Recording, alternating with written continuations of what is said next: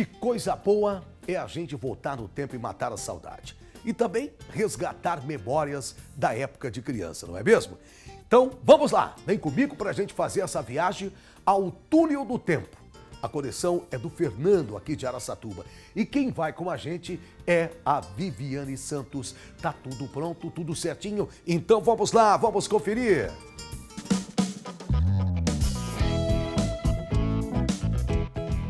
Fazer uma viagem sem escala para os anos 80? Nós estamos na casa de um colecionador de relíquias que com certeza marcaram a infância de muitas pessoas. O dono desses objetos aqui é o Fernando. Tudo bem, Fernando? Tudo bem. Fernando, me fala uma coisa, isso daqui tem muita história, né? Tem bastante.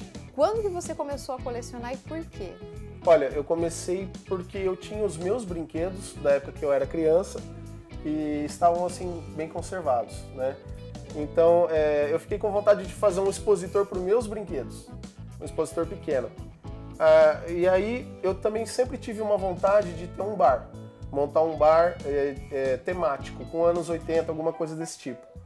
Então assim, se eu colocasse o meu expositor com os meus brinquedos, eu acho que ia ficar pequeno, ia ficar algo muito simples. Eu falei, não, eu vou começar aumentar essa coleção, fazer um expositor maior. E essa ideia foi indo, foi indo, a gente vai, vai um vício, né?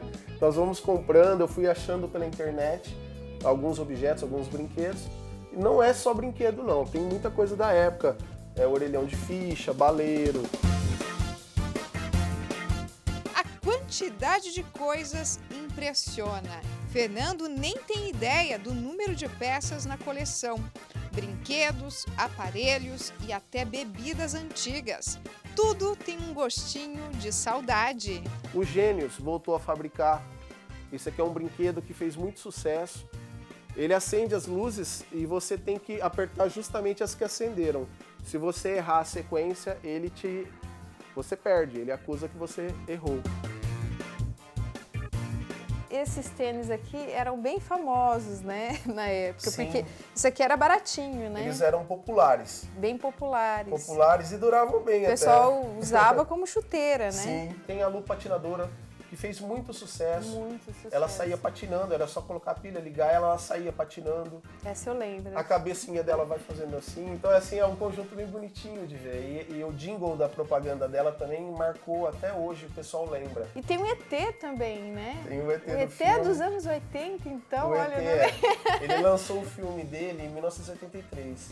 Do lado do fofão tem outro boneco. Tem o é? Cascatinha. O Cascatinha, ele é o castrinho, né? Ele fazia parte da turma do Balão Mágico também. Ah. Logo no comecinho, né?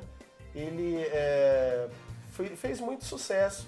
Foram dois bonecos que venderam muito bem na época. Eles foram lançados mais ou menos junto. Lango, Lango? Lango Esse Lango. eu não lembro. O Lango Lango, você vestia ele na mão, ele era tipo um fantoche. Ah. E você acionava os botãozinhos, ele dava soquinho. Você vê que a mão dele é em formato de soco. E desses brinquedos todos, a gente sabe que alguns eram muito caros, né? Sim. E você tem até uma comparação que você fez, tinha uns que valiam tipo três televisores. Com certeza. Na época. é, na verdade era assim. ah, é, eram brinquedos assim que nem, to- nem todos os pais poderiam dar para os filhos. Não tinham condições, né? Era é, igual eu falei, época de muita inflação. O país passava nessa oscilação de preços, né? Então, quando a gente começa a colecionar, é, eu comecei a olhar muito o tutorial do pessoal da época que comenta na internet. O robô Arthur, por exemplo, ele valia, eh, como você falou, de 3 até 5 televisores. Ele oscilava nesse valor aí. Um televisor assim de 20 polegadas, vamos pôr o valor hoje. Se ele, se ele estiver em torno aí de 400 a 500 reais, você imagina, vezes 5. Ele, hoje um robozinho desse estaria em torno de 2.500, de 2 a 2.500. Então assim, é caro mesmo, era um brinquedo muito caro. Porém, ele tinha uma tecnologia na época que os televisores não tinham controle remoto. E ele já tinha controle remoto, então ele era um brinquedo que ele ia distante da criança, ela apertava um botão e virava e voltava. Se a coleção é de objetos antigos, então o carro não poderia ser diferente, né? Você Também. escolheu um carro também dos anos 80? É um Ford Escort, veio de Brasília, ele era de lá, veio rodando de lá para cá e tá aí, tá na família. São carros assim que estão na família há muito tempo, praticamente esse aqui, no caso, desde zero. era de uma irmã do meu pai e ela deu de presente, ela usou durante um tempo e depois ela presenteou ele com esse carro. Então ele tinha um carinho especial, que era o carro que a irmã dele deu para ele. E, e, e, aí depois ficou para mim. Resgatar antigas memórias não tem preço para o colecionador. Eu acho assim que é um, é um museu, é um museu, não deixa de ser, né? É uma para voltar ao tempo. Já que não existe a máquina do tempo, a gente faz a cápsula do tempo. e me fala qual que é a sensação quando você vê esses objetos? Olha, é, assim, fez parte da minha infância. Então, assim, é, é uma viagem. É, é, eu acho que é uma forma da gente lembrar um tempo bom, que não volta mais. Agora nós vamos ver como as crianças reagiram ao ver tudo que a gente levou para eles. Tem objeto aí que é difícil para acertar, hein? E eu quero que você confira com a gente, tá bom? Vamos lá, Miguel, pode soltar. E será que as crianças de hoje sabem para que, que servem estes objetos? Nós estamos em uma escola aqui de Araçatuba para tirar essa dúvida. Fernando, a garotada costuma saber realmente para que, que servem os objetos? O que, você costuma ouvir? Não, surgem bastante dúvidas, sim. Eles não sabem o que é. Eles perguntam, né? Para que, que servia isso? Para que, que é aquilo? Então, e é interessante porque eles se encantam também, às vezes, por alguns objetos antigos da década de 80, 70. Eles olham, depois que eles descobrem para que, que serve, eles se encantam e querem saber cada vez mais, né? Sempre acontece. Nós trouxemos então alguns objetos aqui do Fernando, né, Fernando? E vamos chamar a garotada então para saber se eles sabem o que, que é, se a garotada sabe o que, que é. Vamos lá? Quem, vai, quem que vai ser o primeiro?